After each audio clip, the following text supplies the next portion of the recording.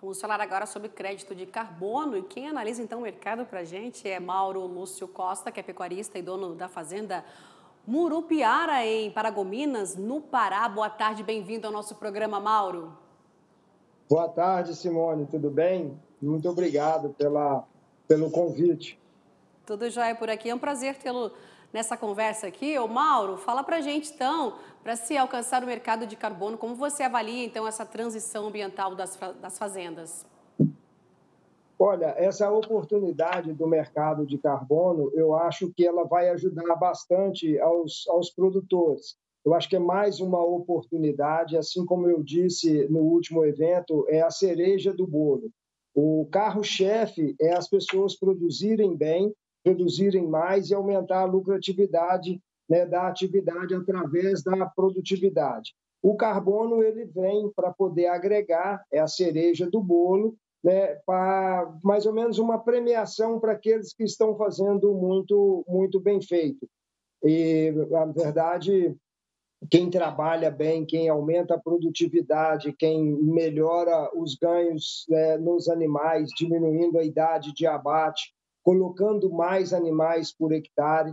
Então, você tem uma condição muito boa de diminuir o ciclo de vida. Então, você faz a carne com menos, com menos carbono, né? Então, isso, isso ajuda bastante. E fora que quem trabalha bem, quem intensifica a pastagem, né, o crescimento das pastagens, ele sequestra carbono. Então, isso ajuda muito também é, nessa, nessa minimização né, de, do, do, das emissões. A dieta do boi reduz aí o metano, né? tem a terminação, como você falou, aí, que emite menor, é, menos gás aí de efeito estufa, diminui também o ciclo de vida do boi, né, em relação a isso. isso. Melhorar pastos, como você falou, trabalhar com o ILP, o ILPF, são essas as, as ações, né, que já estão sendo adotadas, mas eu te pergunto, devem ter mais incentivos financeiros para melhorar e estimular aí a redução? Olha, é, a gente precisa muito mais, é, lógico que tem, tem incentivos para reformas de pastagens, mas o que a gente precisa mesmo é de difundir, divulgar as melhores práticas, né, os melhores manejos. Eu costumo até dizer que trabalhar só para poder falar que nós precisamos de recuperar a área degradada, esse trabalho ele é válido, mas ele é muito pouco. Na verdade, o que a gente precisa é de propagar mais sobre manejos de pastagens bem feitos. As pastagens, elas são culturas perenes, capim é cultura perene.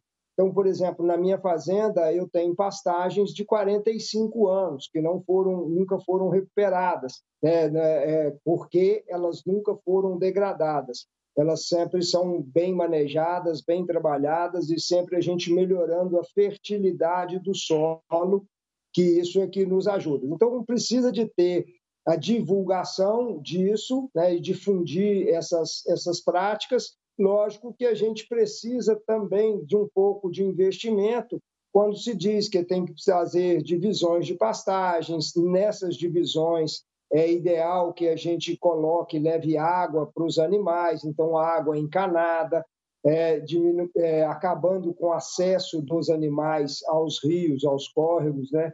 Então a gente precisa de fazer esse, é, é essa infraestrutura, né? Mas a gente precisa muito de trabalhar, difundir, divulgar a, as boas práticas de manejo de pastagem. É, e divulgar as boas práticas de manejo de pastagem, porque há de se dizer, né, Mauro, que é com a melhora do pasto aí, a pegada do carbono, do carbono segundo o analista aqui, Eduardo Assad, que já vem conversando com a gente ao longo de muito tempo, ele fala que pode cair então para 3 quilos de CO2 por quilo de carne produzida, que o pasto degradado, por outro lado, ele produz uma carne com de 30 a 40 quilos de CO2 por quilo de carne produzida. É muito alto, não é? É, esses números uh, são a, a, redução, né, a oportunidade que a gente, que a gente tem de reduzir, ela, ela é muito grande. Agora, eu, eu queria deixar registrado aqui também uma da, da, do, do meu trabalho, é muito mais, vai além do que a, a redução do carbono. mas vai na intensificação da biodiversidade. Esse é um trabalho muito forte que a gente está fazendo, que é minimizar o impacto na biodiversidade. O que, que eu faço? Eu cuido melhor das florestas, a gente tem áreas de reserva legal, tem áreas de APP e algumas áreas que a gente é, é de baixa produtividade agrícola, a gente retorna essas áreas fazendo plantio de árvores, né? Só que o, o trabalho é feito entre, em árvores nativas, não é muito com foco de produção de madeira, mas sim de biodiversidade. Então, eu acho que esse, esse trabalho, se a gente for fazer uma analogia entre é, biodiversidade e carbono, fazer uma analogia aos minerais, né? Ah, o carbono é, é calcário, é, é, um mineral barato, e a biodiversidade é ouro. Né? Então, ela tem um valor agregado muito, muito grande. Então, a ideia nossa lá é mais carne com muito mais biodiversidade. Trabalho aí pela é, biodiversidade que você falou para gente. Quantas árvores, então, já foram plantadas aí na, na propriedade? Olha, eu, para te falar a verdade, eu não consigo mais ter essa quantificação. Né? E, e, é, é, interessante quem conhecer a minha propriedade, que deixa aqui o convite aberto para as pessoas que quiserem vir conhecer, mas vocês vão ver uma coisa muito interessante, que é uma harmonia muito grande entre a produção e a natureza. Né? Então, assim, hoje, ah, muito mais árvores do que eu plantei são os pássaros que plantam para mim né? E, e, um paisagismo muito interessante que o que eles fazem, porque eles plantam muito quando uh, sentam nas cercas. Então, quando a gente começa a tratar bem dos animais, melhor dos animais, né? então tem um pouco de ração, e aí isso chama pássaros, é, é biodiversidade, chama abelhas, a polinização é muito maior. Então, a gente vê hoje, eu tenho muito mais árvores que nascem né, de, de, da própria natureza, né, do crescimento e da reprodução da própria natureza, do que aquilo que eu plantei. Né? Então, é a natureza retribuindo aquilo que a gente deu, deu para ela. Então, quando a gente faz isso, né, essa reciprocidade entre é, quanto mais, quanto melhor eu trato da natureza, mais ela me devolve né, em, em lucro, em produtividade. Quanto mais eu me, trato me, melhor os meus animais, mais mais ele me devolve em produtividade, em ganho de peso, em parição. Né? Então, a gente vai aumentando muito isso. E sem esquecer que quanto mais eu trato melhor, ensino, capacito meus funcionários, melhor qualidade de vida deles, muito mais eles têm condição de cuidar daquilo que é meu sua fazenda, a sua fazenda aí, a sua propriedade, é, ela adota o sistema ILPF? Olha, eu tenho sistema, eu tenho bastante, é, é, não é em conjunto, eu não planto ah, nesse sistema, principalmente, por exemplo, porque eu não planto essências exóticas, eu só planto essências nativas. Né? Então, eu faço bloco de florestas em lugares é, que são grotas, são lugares de baixa aptidão para a produção agrícola. Então, ali eu vou lá e faço um reflorestamento. Reflorestamento quer dizer reconduzir a floresta. Então, é a mesma floresta nativa, é o que eu faço, é o mesmo, mesmo plantio. Tá? Então, eu não tenho produção é, de árvores em larga escala para madeira, porque é um processo muito muito demorado, porque são essências nativas, né? E o que me ajuda é que eu ponho algumas essências medicinais é, ou algumas essências frutíferas, né?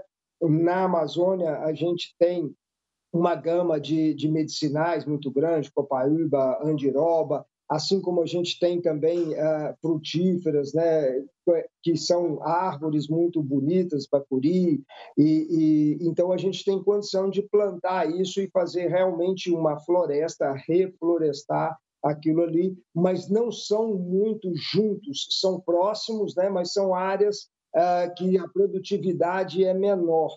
Então, ela tem baixa aptidão para a produção de capim ou de grão, mas ela tem altíssima é, é, condição para aptidão para a produção de floresta. A gente já ir finalizando, né? nós falamos dos, dos, cuidados com o meio ambiente, produção com baixa emissão de carbono, e lá na frente tem aí a monetização ao produtor, né? Como você avalia esse lucro, esse processo está disseminado aí no campo ou faltam mais informações ao produtor é, de como vai funcionar o mercado voluntário e, e, e no futuro o regulado? Olha, eu acredito que é, o maior desafio nosso é levar o conhecimento né, para esses produtores, é levar a informação e a condição. E creio eu que tanto no mercado de carbono quanto a biodiversidade ainda nem existe, né? mas o mercado de carbono é, ele vai a cada dia crescer quando tiver volume né, para poder a gente realmente operar, para a gente poder estar tá vendendo isso com uma regularidade muito, muito maior. E a gente tem muita área, muita produção, então a gente tem sim condições de fazer essa questão do crédito de carbono crescer cada, cada vez mais. Né? Então, o que a gente precisa é realmente fazer um relacionamento bom com os produtores. Eu acho que isso tem que vir né, capitaneado pela indústria, porque a indústria tem condições de fazer uma reunião ou de cooperativas também, é uma condição que tem para poder ter um, uma gama de produtores maiores para poder fazer um volume e fazer essas, essas negociações. Mas eu acho que é, isso é um caminho sem volta, né? e não só quanto mais a, questão de você entrar nessa venda de nessa venda de crédito de carbono, ela vai mostrar é a transformação do, do processo produtivo. E quando você melhorar esse processo produtivo, você traz o negócio mais lucrativo, um negócio melhor para o produtor. Por isso que vai mais uma vez aqui a minha fala sobre que o crédito de carbono é a cereja do bolo. Né? O interessante é o bolo mesmo que o produtor pode fazer. Verdade, toda essa essa produção aí, né? Não só a cereja, como você falou, mas no caso, na sua analogia, o bolo em si. Mauro, muito obrigada pela sua participação aqui hoje com a gente. Eu conversei com o Mauro Lúcio Costa, que é pecuarista e dono da fazenda Marupiara, em Paragominas, lá no Pará. Muito obrigada mais uma vez e até uma próxima oportunidade, viu? Eu é que agradeço, Simone. Tá? Eu só queria deixar que a cereja do bolo né, é o carbono, mas o recheio do bolo vai ser a universidade. Um grande abraço, muito obrigado pela oportunidade.